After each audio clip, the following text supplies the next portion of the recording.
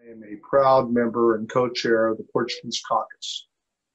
And I want to um, just take the time to uh, note how important it is today and historically the relationship between the United States and Portugal.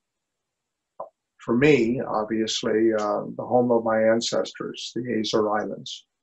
And I've never ever forgot the importance of this relationship. Portugal, the second country in the world to recognize the American independence. And that relationship has continued through good and difficult times. Um, we all are dealing with challenges today, but we remember the importance of our friendship.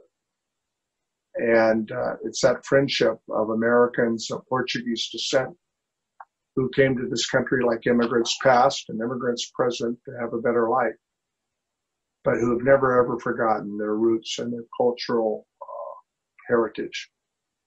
Um, FLAD is an important, important organization that continues to maintain that uh, that partnership between Portugal and the United States. And as co-chair of the Portuguese Caucus, member of um, Congress from the San Joaquin Valley, a lot of Portuguese Americans here that have come my, my family over the last century to um, have a better life. But in doing so, uh, the million and a half or more Americans of Portuguese Portuguese descent continue to uh, work together in ways that not only make America a better country, but also never forget about the partnership between Portugal and uh, and the United States. And that's why I want to give a shout out to uh, Rita and her team and FLAD for continuing to build on that partnership, that relationship with the um, uh, workshops that we've had in Lisbon uh, on an annual basis with Americans uh, who are elected to uh, public office to spend two days in conversations and exchanges of ideas that are important to both the United States and to Portugal. We must continue these kinds of efforts the partnership that FLAD has provided between Fresno State University and the University of the Azores, I think is producing good results, and we need to continue to build on that as well.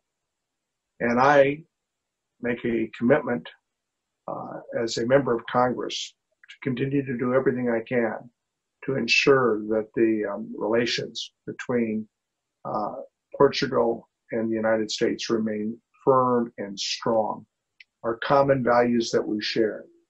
Uh, values of um, democratic institutions, values of rules-based economy, values of, you know, from the heart, the corazon, the character that makes us who we are.